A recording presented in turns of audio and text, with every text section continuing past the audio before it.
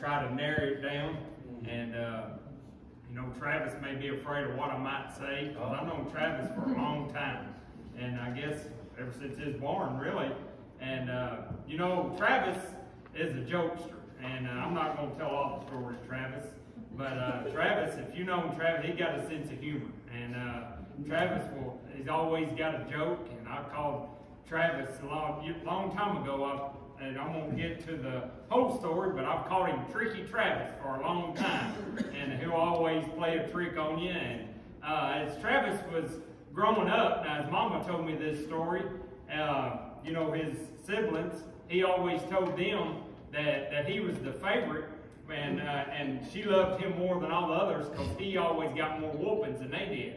And uh, Travis, that may be true, but uh, he still holds to that. But uh, this afternoon, Travis, I want to speak to to you and, and challenge you and encourage you. And uh, there's some things that, that I'd like to tell you. And as your friend and as your pastor, and just for a few minutes about you know, we're, we're gathered here and, you know, Travis is, is not the end, but, you know, this is just to open up the book of a whole nother chapter of life of what, you know, and it, it, it carries on a way lot, a lot of you know, it carries on a whole lot more responsibility than, than just going to school. Now, Travis, there's going to be a day that you would love to go back to this day and then go back to school. As bad as you may dislike it, you know, you may think, you know, 10 years down the road, hey, school was not so bad after all. And and carries on a whole lot more responsibilities. You know, wherever Travis goes, he may go off to, to college or or uh, start a new career, a new job. He may uh, one day Travis may decide to even get married. Who knows? But uh, have children, and of course you know that if that takes place, then life's thinking more not about yourself, but about other people and, and about his family and, and carries a whole new load of different responsibilities. And, you know, and I want to encourage you, Travis, that whatever life brings you and whatever direction that you may go in life, to, you know, to, to dream big. And, you know, don't don't cut yourself short a little bit, you know, or ever. You know, don't ever say the words that that I can't. And, and, you know, I got more trouble when I was a kid, and I'm sure Travis did too, you know, saying I can't do it. And, you know, and that just completely cuts yourself off. And, you know, and there's going to be times in life, Travis, that times get tough and things get hard. And that's when it's important to quit. And like I've always said, Travis, that anybody can just quit. Anybody can just give up and throw in the towel, but you know, it takes somebody to stand up and, and, to, and to stick with what is important, to stick with what is even right in life. And, and you know what, don't be afraid to, to take risk in whatever you do and, and step out on the limb. And if you feel like it's the right thing to do or where you need to go or something in life that you've been praying for, you know, don't be afraid to take those risks and, and, and not to to, to do that. And, you know, and just because it's not easy and just because it, it's not convenient don't always mean that that's what you're supposed to do. It just means that, that you know, it's going to take a little bit of work. And I'm, I want to encourage you that, you know, whatever that you put your mind to and you put your ability to, that you can do anything or go anywhere that, that you want to go in life. And, and, and don't be afraid to have those dreams and have those goals and, and set the bar high for your life. But, you know, with all of that said about life and about where life may take you and about what road you may go and, and you know, and the responsibilities that, that you may carry in life.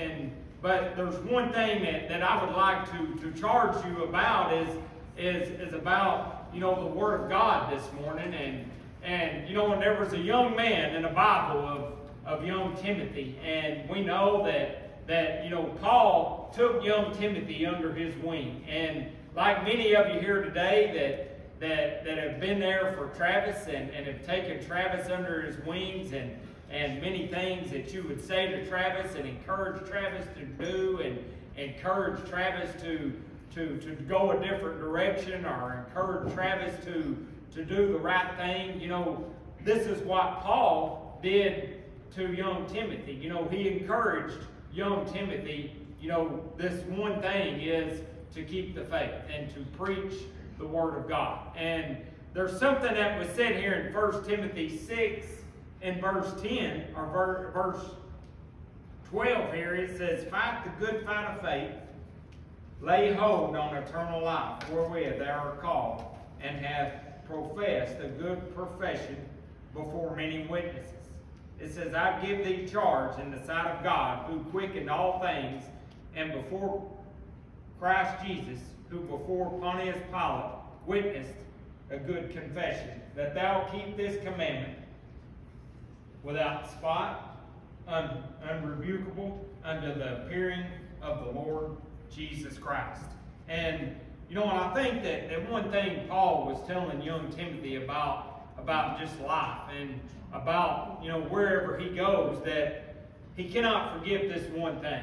And this is the one thing I want to encourage you, Travis, about life and about wherever you may go. And, and, and you know, and, you know, we, we understand and all agree that, you know, graduation, man, that's a big step in a, in a young man's life. And, you know, and that's a, that's a big accomplishment. But what the road is, is set before him is, is something even bigger. And, and there's one thing that, that cannot be left out. And this is what Paul was encouraging young Timothy is, you know, don't leave God out. And that's the one thing, if I could say anything to Travis today, that, and if I could just give one word of encouragement to Travis for that would stick with him for the rest of his life, this is one thing I believe that that you know he would he would I would love to tell him, and this is something that is nothing new to Travis. He's been grounded and settled in the faith and been taught this from his mom and dad and been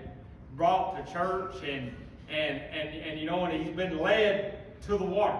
Now it's a time that, that Travis decides for himself that, you know, I'm going to drink from that water. And you know what I'm trying to say is is that, you know, Travis take this faith that he's been taught as a little child, that you take it for yourself.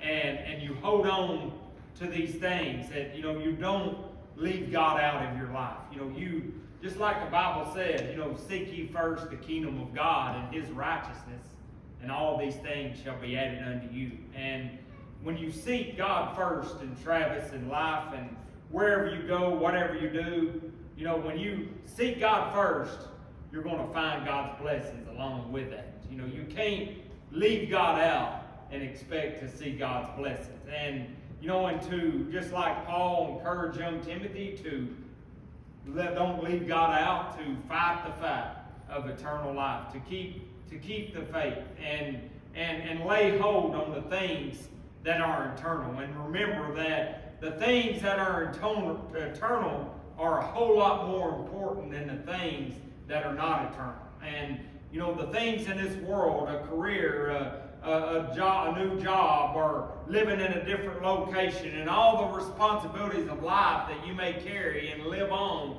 that living for the Lord and laying hold of the things that are eternal are way more important. And I guarantee you that when you seek God out and you seek God first, that there's something a whole lot of greater waiting for you. That you know you will never you will never just say, "Hey, I'm disappointed," because you'll always have God on your side. And at this time, I believe Miss Paula has a video clip she'd like to show us this afternoon.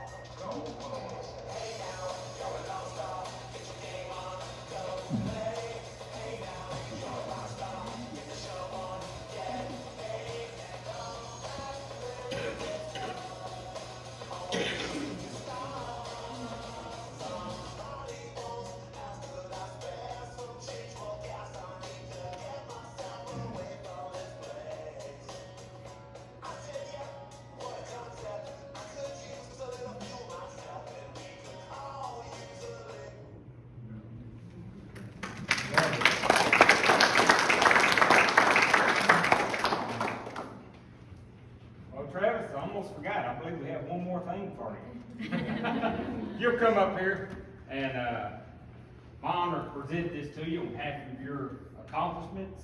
I Want to present this diploma to you on all your achievements. Congratulations.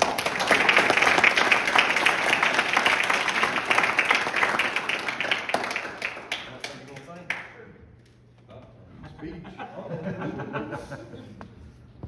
Well, first and foremost, I'd like to thank my mama. Uh, This one hundred percent would not be possible without her. She's worked harder for this than I have. I'd like to thank my daddy. He's the only man I know who would work as hard as he does, so my mom could stay home and, you know, raise five kids and teach them. Thank God for that. Not everybody has. Thank you. Now, I've done a little work in myself for this. Uh, it was, it, it was kind of fun, I guess, sometimes, when I did get caught. Uh, It's all the stuff in between I'm thankful for. I've got parents that made me work and I'm thankful for it. You know, you. I guess this be my senior quote. Uh, the only thing hard work gets you is more work. I'm thankful for that. Yeah, Not everybody gets to work. that's right.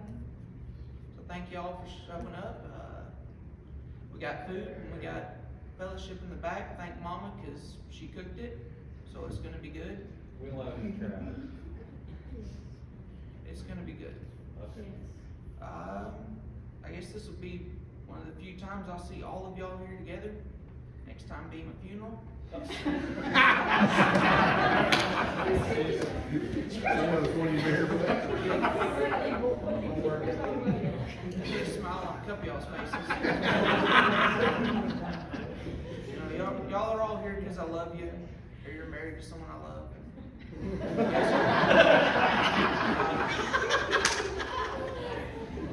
Thank you for coming out. Love y'all. It's been fun. I'm glad it's over though. Next step. Yeah. Okay. Please continue to pray for me. I know some of y'all have. I, I can feel it. Yeah, that's about it. Thank you. Good. Thank you.